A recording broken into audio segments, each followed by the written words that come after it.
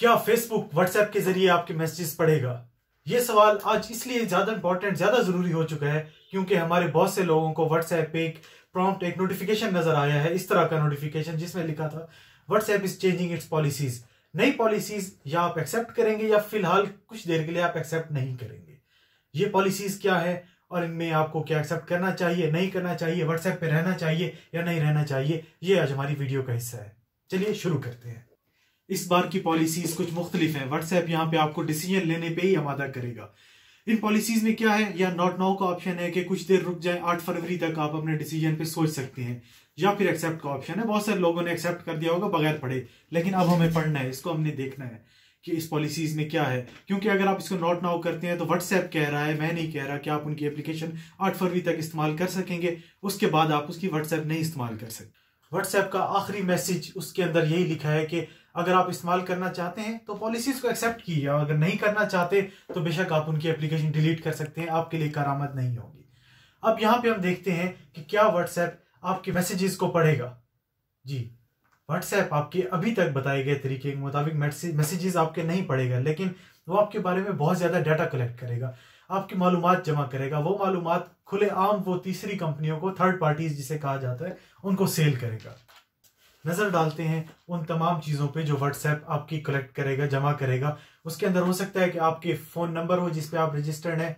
हो सकता है वो आपके एड्रेस बुक कलेक्शन हो, यानी कि आपके कॉन्टैक्ट्स जो सारे उनने जमा किए हुए, पहले व्हाट्सएप अपने पास रखता था, अब वो आगे भी सेल कर सकता है। इसी तरह और भी इंफॉर्मेशन आपकी ज़िंदगी के बारे में, आपकी स्टेटस इंफॉर्मेशन कि आप किस टाइम ज़्यादा ऑनलाइन आते हैं, किसी इलाके के लोग किस टाइम फ्रेम में ज़्यादा ऑनलाइन आते हैं, ताकि मार्केटिंग मैसेजेस उस टाइम किए जाएँ। इसी तरह आपकी ट्रांजेक्शन क्योंकि व्हाट्सएप पेमेंट्स के थ्रू भी जा रहा है तो आपकी ट्रांजेक्शन को भी देख सकता है, आपके बिज़नेस आइडियाज़ को भी देख सकता है, अगर वो आप किसी एक डायरेक्शन में आप ट्रांजेक्शन कर रहे हैं, खरीदा फरोख्त कर रहे हैं तो वो आपको डिसीज़न भी देख रहा होता है।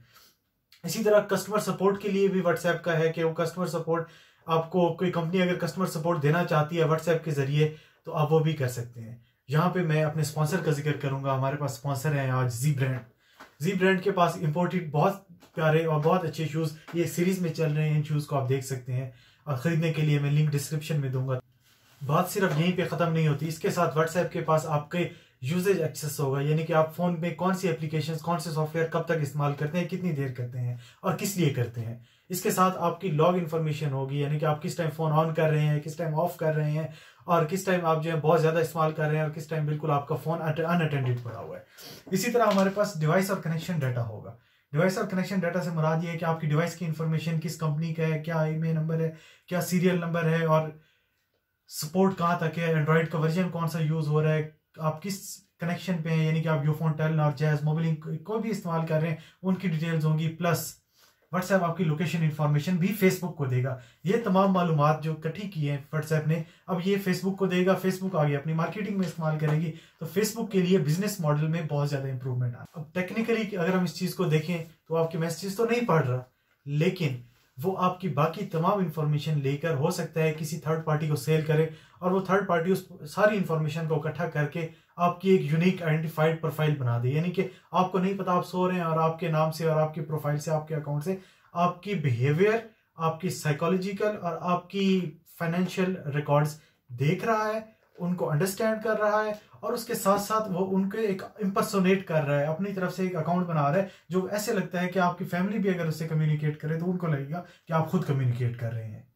ये सारी इंफॉर्मेशन सेल करना फेसबुक के लिए भी ज़रूरी है क्योंकि उन्होंने व्हाट्सएप को 19 अरब डॉलर से ज़्यादा में 2018 के अंदर ख़रीदा। तो दो साल उनको लगे ये मॉडल बनाने में। अब उनने उस मॉडल पे अपने रेवेन्यू जनरेट करना है, अपनी ट्रांजेक्शन्स करनी है और एक अपनी इंडस्ट्री को बहुत इंप्रूव करना है। तो यहाँ पे हमें नज़र आता है कि बहुत सारे लोग जज्बाती होकर जल्दी में फैसला कर जाएँगे कि वो व्हाट्सएप छोड़ना चाह रहे हैं। लेकिन क्या हमारे पास और प्लेटफॉर्म्स ऐसे मौजूद हैं जो व्हाट्सएप जितना डाटा कर लें मतलब उस उस डाटे को वो लोग चला लें, उस डाटे को प्रोसेस कर लें या इतने मैसेजेस कर लें तो ये हमें ये चीज़ें वक्त बताएगा। हमारे पास अल्टरनेटिव ज़रूर मौजूद है। सिग्नल है टेलीग्राम है लाइन है वायर है। वायर अभी अगर मुझे आप रिकमेंडेशन के लिए कहेंगे तो मैं वायर रिकमेंड करूँगा। क्योंकि उनके डाटा जो है स्पॉन्सर्ड नहीं है वायर की तरफ़ से। जो उनका डाटा है, वो बहुत लाइट वेट काम करते हैं। वीडियो स्ट्रीमिंग है कॉल्स हैं, आपके मैसेजेस हैं। और सिग्नल से इसलिए बेहतर है कि सिग्नल एक वक्त पे जाके हमारे, क्योंकि हमारी मार्केट के अंदर ओप्पो वीवो इन्फिनिक्स इस तरह के फ़ोन बहुत ज़्यादा हैं।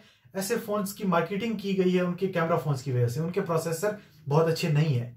अब प्रोसेसर ना अच्छा होने की वजह से सिग्नल पाँच हज़ार, छह हज़ार मैसेजेस के बाद आपके फ़ोन को स्लो कर देता है। फ़ोन स्लो से मुराद ये है कि जो एनक्रिप्टेड मैसेज आएगा, जो एक आपका मैसेज सिग्नल के थ्रू आता है, उसको खुलने में बहुत ज़्यादा टाइम लगेगा। तो यहाँ पे मैं कंक्लूड ये करूँगा कि आपके पास ऑप्शन अवेलेबल हैं।